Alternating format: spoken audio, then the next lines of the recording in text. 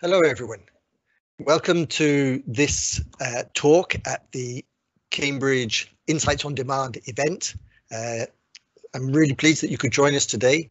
Today, what I'm going to talk about is what research tells us about how to improve learner autonomy. Uh, my name is Ben Knight. I'm the Director for Language Research at Cambridge University Press. Okay. So first of all, let's start by just clarifying what we mean by learner autonomy. Uh, I think this term was uh, first coined by Henri Holec in 19, 1981. Um, he, he said that the autonomous learner was one who has the ability to take charge of their learning. So it's about taking control, taking responsibility for your own learning as a learner. Um, and we know that in these times of lockdown, of studying, learning from home, remote learning, uh, it's been highlighted the absolute importance of students being able to manage and to take control of their own learning. I've put a few other terms here which I would say are very much in the same area um, sometimes they have a slightly different meaning, but they're really talking about similar things. So independent learning, I think is very similar to learner autonomy, self-directed learning, self-regulated learning. They have specific meanings, but they're in the same kind of area. And these are about encouraging self-regulation, metacognition. I'll talk about a little bit more, but metacognition is thinking about our thinking, thinking about our learning, how we learn. Um, and then learning to learn is kind of that process of developing those skills.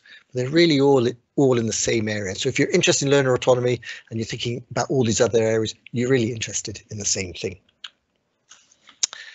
Okay, now those are kind of definition. That's a definition, but really, uh, I think it only comes to life when you think about what does a learner autonomy classroom look like? What does a classroom look like where it is uh, where it is strong in developing uh, learner autonomy?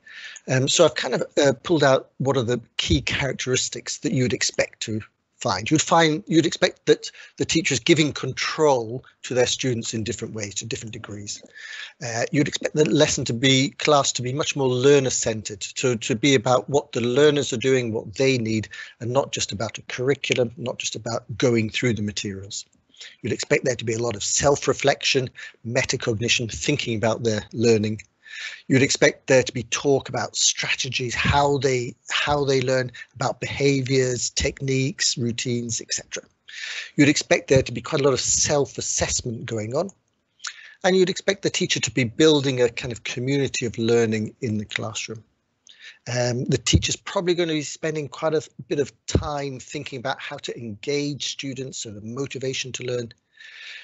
In a in a um, autonomous learning classroom, there's often a lot of work goes into tracking and monitoring progress because people are on different pathways. And sometimes the teaching style becomes much more uh, closer to coaching than to instructing. So uh, I just listed those. Let me just go back in case uh, anybody wanted to see that full list. That's the full list. Uh, and these are just kind of typical characteristics of a, a classroom with where learner autonomy is strong. And why is it important? Uh, I think if you're attending this, you probably already have an understanding, but it's worth reminding ourselves that um, that one of the things, the benefits of learner autonomy is that it enables the class to the learning, the lessons to be more relevant to each student. If they're taking control, if they're making choices, they're making sure that it's relevant to their particular needs and interests. Um, a second reason is that all, all of us, when we're teaching, have mixed abilities, some much more than others, but wherever there are mixed abilities, if students are able to take control and charge of their own learning needs, then they're more likely to be met than if you're trying to direct everything from the front as a teacher. Um, a third reason is that uh, we simply know from measures of how long it takes to learn, how many hours are needed, that classroom hours alone that most students are on are not enough to get to where they need to be. So most curricula require students to move at a faster pace than simple simply the classroom hours allow. So they have to be studying outside the classroom and they have to therefore have the ability and the skills to study effectively on their own. And then uh, the fourth reason is that uh, it, it, motivates people. They're more engaged learners if they have some control over their learning.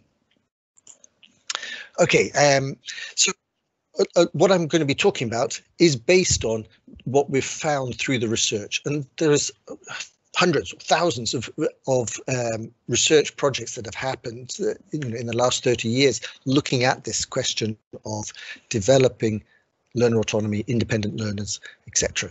Um, and really what we're doing in this talk is kind of extracting from those key points that you would take. So I, have got a whole list of references which I'm going to give at the end. Um, and uh, I've just got a few examples here just to kind of give you a sense of this. Uh, Glogger uh, et al. 2012, uh, they looked at using learn learning journals where, where the students would at the same time as learning, were writing, keeping a journal of how their learning was going. Uh, and they looked at the types of strategies and the types of thinking about their learning and how that correlated to learning outcomes. Um, and found that th those who were thinking more about their learning strategies were more successful at the end. Um, the embedding st strategy prompts into materials by Michalski 2013 is an example of uh, trying out what happens when you embed in your learning materials prompts for students to reflect on how they are learning. Um, and again, found that these were very effective. Uh, Kistner 2010 uh, looked at the comparison between ex explicit and implicit teaching of strategies, of learning strategies. Uh, explicit being where they talk about what they what they need to do, and implicit being where the teacher uh, simply models those or gives examples of good behaviours or, or, or, strategies, but doesn't talk about them explicitly. And again, found that explicit teaching uh, was more effective than that implicit approach. And dialogic teaching uh, from Alexander 2015 is an example of investigating how teachers can use a dialogic approach of questioning uh, the students about what they're doing and how they're approaching the learning task in order to raise their awareness and their effectiveness as learners. Now, uh, so if we if we think back that a lot of this is about uh, the transfer of control from the teacher to the students. Um, and there are a number of things to think about about managing that transfer uh, effectively. So it's not just dropping the students into a situation where they have to take control, um, although that is what has happened in many situations in um, in the lockdown. But ideally we would be managing that transfer. And there are a number of techniques for managing that that have been shown to be effective. Um, so one of those is scaffolding, and you all know scaffolding. It's about breaking a task into stages, into steps, so that they're more manageable. About checking the understanding of of the instructions of what the task is before you move on, uh, and frequently checking how their progress is. So that's kind of scaffolding. Structure is where uh, you build up routines for way things are done. Uh, so when you're doing a, a, reading task, for example, you may start by checking the, uh, certain vocabulary or pre looking at picking out keywords which are difficult. Um, and the more uh, the more you kind of have a routine for doing something, the easier it is for students to feel in control and to take control uh, of their role in that routine. Flexibility is really about um, making sure that the, that the the activities you have allow for people on different rates of learning, different pathways. So keeping things open-ended where possible, uh, tasks which are open-ended allow for people who are moving at a faster rate to include stretch options, so additional things like um, if they're doing a reading, re uh, a speaking activity that students who finish early or, or, more confident can record themselves and play it back or something like that. And then changing groupings is another way of doing this. So sometimes you put strong students with strong students sometimes you mix strong and weak. And that kind of flexibility uh, helps that building up of uh, control among the students. And, and, the fourth point I wanted to mention was visible monitoring. And this is very much about tracking progress um, so that students can see their progress. They can see where they're struggling or where they're uh, fine. Um, and this is often about keeping logbooks or portfolios, different ways of, of visible monitoring. So what are the learning behaviours that we want our students to develop to become independent, autonomous learners. Well, we tend to think of three main areas uh, of learning behaviors. First of all, is planning and goal setting, understanding what they're trying to do. Then there's the managing the learning, the kind of day-to-day -day organization of your learning. And then the third one is self-reflection, that thinking about how your learning is going. Is it successful? What is working? What's not working? And we can look at those uh, in a bit more detail. Planning and goal setting being uh, being clear about what you want to achieve, both in the short term, like now, and uh, in the long term. What what are you really trying to? What's really important for you? Um, and then also just having a plan for learning um, is is uh, is part of that planning and goal setting. Um, then there is managing your learning, and this is often about kind of making use of resources, tools, techniques, developing effective learning habits, and creating a, a, a, learning environment which works for you, and also learning how to manage your motivation levels, what to do when you just don't feel like uh, a certain type of study. And then that self-reflection is tracking and evaluating your own success in learning a language, but also identifying as a learner and identifying how to improve the success in language learning. So working out, well, you know, I, I do much better when I approach it in this way, for example. Okay, so um, I'm going into a bit more detail on each of these. So planning and goal setting. Um, as I said, there's there's a kind of a longer term view of this, uh, which uh, affects your motivation to keep on learning, to take the course or to to to be successful in the course. And that might be to do with an exam that you want to pass. It may be that you're thinking of a career where you need english. Uh, another approach is um, about identity. And uh, this is where um, psychologists will talk about the l2 self. Applied linguists will talk about this. So this is a um, how you imagine yourself as a successful learner of the language, user of that second language. Um, and people who, it's a bit like sports, um, imagining yourself successful is the same with language learning. If you can imagine yourself successful and the more detail you can put in that imagination, uh, it affects the, your long-term um, motivation.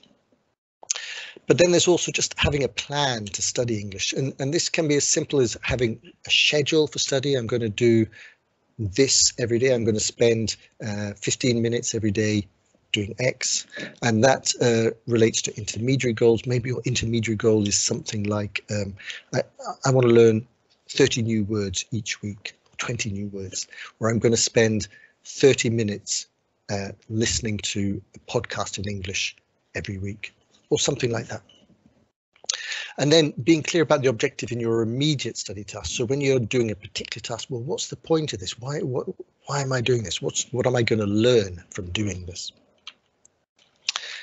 Okay, so then the second area that I was talking about was of learning behaviors is managing your learning.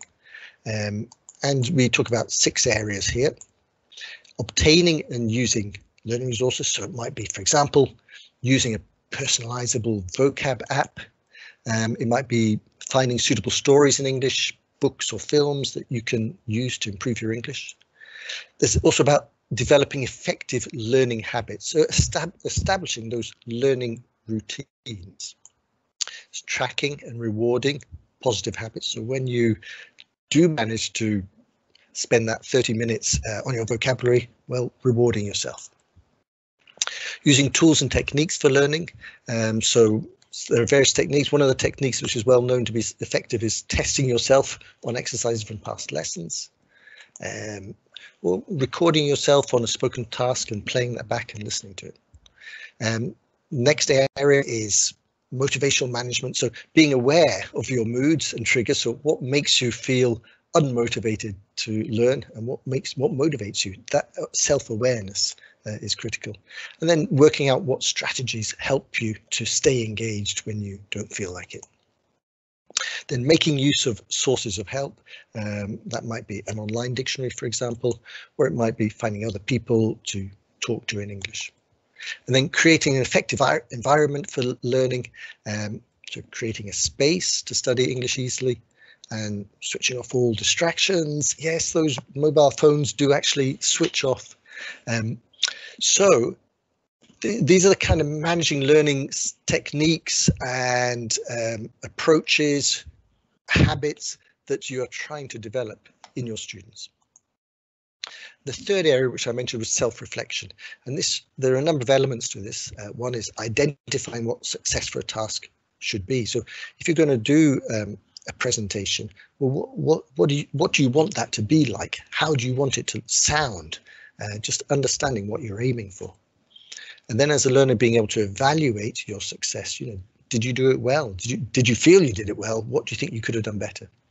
Well, that strays into the third point, which is identifying how to improve learning behaviors. As I said before, if you find that actually I do much better when I prepare um, a speaking task by making brief notes, for example.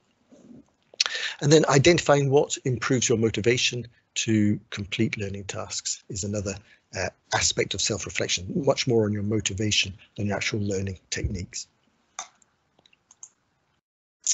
Okay, then, uh, as I mentioned, one of the key aspects of uh, autonomous learning is their ability to assess themselves and and one of the stages towards being assessed yourself is learning to assess your peers. That's part of the same process. Um, and there are a number of things that we know make that more successful, that self-assessment. I've picked out four here which are um, useful uh, ways of approaching self-assessment. First of all, that uh, students, when you're asking them self-assess, you should always ask them to focus on just one or two things. Otherwise, there's a cognitive overload for them. Um, uh, for example, if there's a speaking in show and tell and you're asking the other students to listen and comment on each student, um, you might say, ask them to focus on one thing. Are they loud and clear enough or is there not too much hesitating. So just one or two things to focus on. Secondly, uh, to balance encouragement and correction, because if we feel, if we only get correction, we feel we're no good at doing something. And that uh, belief in ourselves, uh, which we call self-efficacy, the belief that we can do something is critical to staying engaged with the learning process. So, for example, if you're asking peer assessment, again, ask them, or even self-assessment, always to make one positive comment as well as one correction or improvement. Then giving the students phrases for feedback. Uh, for example, you know, it was good when you, you should try to, you shouldn't say. These phrases just help them to to actually develop the habit of giving feedback and evaluating. And then finally, if you can give criteria, and a lot of people uh, will produce these, you might find it from Cambridge exams, handbooks, etc. Um, this one came from uh, yeah, a site called Twinkl. Um, they produce these kind of grids, which are really useful, uh, really helpful. Um, for you and you can give to students and it helps them think about self-assessing their writing what's really important for their writing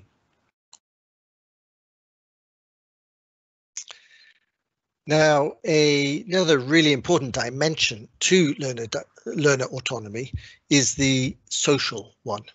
Now, we tend to think of learner autonomy as individuals working on their own. Um, but in reality, it's about uh, moving away from the teacher directedness of learning and collaborative learning, learning in groups, learning with peers is part of that moving away from the uh, control of the teacher. And uh, it's really important to develop a collaborative um, approach within your classroom so that you can build up learner autonomy. Uh, and there are a number of features which are really important for collaborative learning.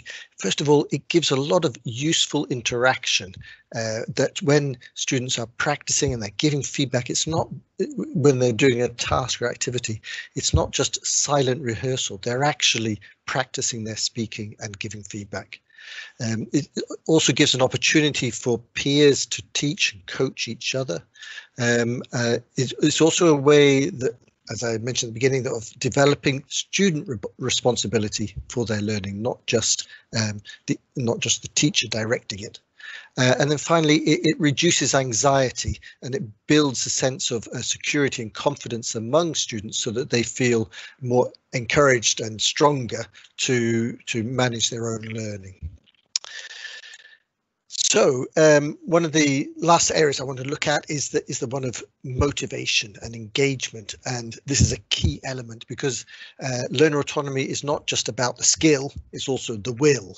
Uh, so that students need to want to manage their own learning, to, to take charge of their own learning. So let's think a little bit about that. And um, one thing that's worth uh, referring to now is uh, the growth mindset approach, which uh, has which was developed by Carol Dweck. Uh, I'm sure some of you will be very familiar with this. Um, and what uh, Dweck was really highlighting was that there is a contrast in approaches and mindsets uh, to learning. Um, and it's not black and white, but that on the one hand, you can see students, and learners who are much more towards the fixed approach mindset um, where they think of their ability to learn as something fixed um, and so they avoid challenges they give up easily um, they are they find criticism threatening etc and then you have students whose mindset is that they're growing that they will be able to learn uh, even if it's going to take them longer than some other people um, and so they embrace the challenge, they see effort as necessary, they learn from criticism, etc. And that we know as teachers that it is the growth mindset which is more effective for learning. So what can we do to help learners develop that growth mindset? Um, and there are a number of things that teachers and parents can do. They can praise the learning and not the student's intelligence or their effort. And they can use the yet more often with can't. So you, you're not able to do this yet, emphasizing the fact that they will be able to. They can use different approaches, um, different approaches to how they learn and to what they learn. Uh, they can encourage collaborative learning. They can test only when learners are ready. They can provide sufficient guided and scaffolded practice, again, making sure they don't overwhelm the students. Avoid scores where possible. Uh, for a lot of us work in situations where scores are required or mandated, but where we can avoid it, we should, because it works against um, a, a, growth mindset. And doing things like a, nice little idea is creating success folders or portfolios uh, that your students do. So uh, motivating students for autonomous learning. Um, there are there are th kind of three areas that you might think about. There are many dimensions to motivating, engaging learners, but there are three um, that I think are particularly useful to think about. Um, the first is the idea, well, the accomplishment, curiosity, and fun. These are all kind of factors that affect our students' engagement in learning. Uh, and when we think about accomplishment, it's that sense that we want to complete something, we want to accomplish something, and that motivates us. And it's behind a lot of games and um, gamification. It's that sense of uh, we just want to accomplish it. Um, and we can use things like target numbers. Sorry, let me take that back. Target numbers or setting time limits or competition. And that's what I was just going to give an example here of um, tic-tac-toe or noughts and crosses if you've got if you're going through a, a, an activity a task where there are lots of questions and answers and you're checking the answers with a class uh, divide them into groups two groups and um, give them take turns to answer the question if they get the question right then they're allowed to put their x or their naught uh, in the grid. Uh, and in that and if they get it wrong they can't. And so they fall behind. So uh, it adds a, a game competitive element to the to the what is quite a routine activity. Curiosity, um, using is we are hardwired to want to resolve things which we don't quite understand or we don't know the answer to. So that drives us, that engages us to keep on going. So cliffhangers to stories, they don't need to hear the end of the story until the next day or the next lesson. Puzzles, uh, a nice little example here, which uh, I saw a teacher put together. Um, this is just anagrams of the answers for vocabulary and um, there's just a it's kind of fun, but wanting to resolve it, wanting to know what the answers are, engages students. Fun, um, and you know we know that things which have got visual impact, things which have got music, things which have got humour, these are all things that engage our students. Uh, one thing which you're probably familiar with, LyricsTraining. Uh, .com I think or .org um, where they where, where they play popular music with the lyrics with gaps in it and you have to fill in the gaps but it allows you to adjust the difficulty of of the gap fill uh, and is great fun and very popular with students. But it's engaging because of that musical element, the the and and um, also that kind of curiosity, wanting to resolve it, wanting to know what the lyrics are. Okay, so uh, I've this has been fairly fast uh, tour through this. We've been looking at what are the aspects of learning autonomy that we can find really from a mixture of looking at the research, but also looking at the experience of um, teachers that have a lot of expertise in this area. And um, we've pulled out a number of factors. So first of all, we've talked about the need to build up to giving control because it's about giving control to the learners, but we can't do that in one go. We have to work out how to build that up. About monitoring and tracking progress. And we talked about um, uh, logbooks and portfolios. That one of the things we're trying to do is to, to develop their planning skills, their goals and their scheduling and planning, organizing, then learning, developing their learning management skills and their strategies for learning, and then developing their ability to self-reflect, to self-evaluate both their both their language and their learning strategies. That we talked about the importance of building up that community of learning so that they are working together and reducing their reliance on the teacher directing them. And finally, building up that self-efficacy, that sense of you can do it, I can do it as a learner, uh, the self-belief, which is critical to to maintaining engagement and motivation. Okay, thank you very much. Uh, that's all I was going to talk to you about uh, for today. Uh, thank you for listening. Uh, thank you for engaging. Uh, I hope you've been asking uh, lots of questions or making comments, and we'll try to respond to your questions and comments um, as far as we can. Um, I, have also added in the description box a link to a document with uh, a lot of the references to research, which some some of which I've referred to, but some is just behind uh, a lot of the points I've been making. Um, and so if you want to read more about that research, just check the link and uh, try and find as many of these um, references as you can. Uh, thank you again for your time. And uh, I look forward to engaging with your questions. And I hope you enjoy the rest of the Insights on Demand event. Okay.